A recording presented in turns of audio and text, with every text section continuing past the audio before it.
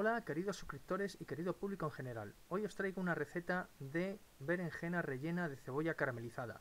En breve comenzamos con la receta.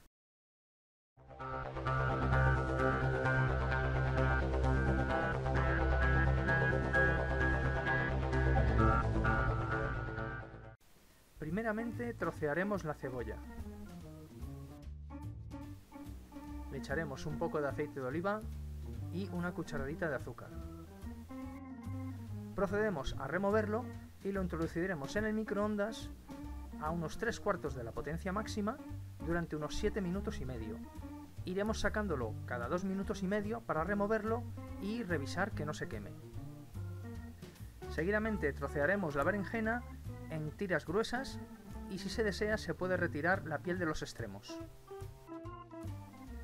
Seguidamente echaremos aceite en cada una de las tiras y con ayuda de una brocha procederemos a esparcirlo. Le echaremos sal por encima al gusto. Seguidamente lo introduciremos al microondas a potencia máxima en la opción combi microondas más grill durante 10 minutos.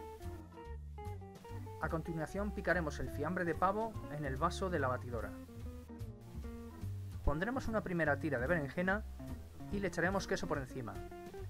Y encima de esta ponemos una segunda tira de berenjena.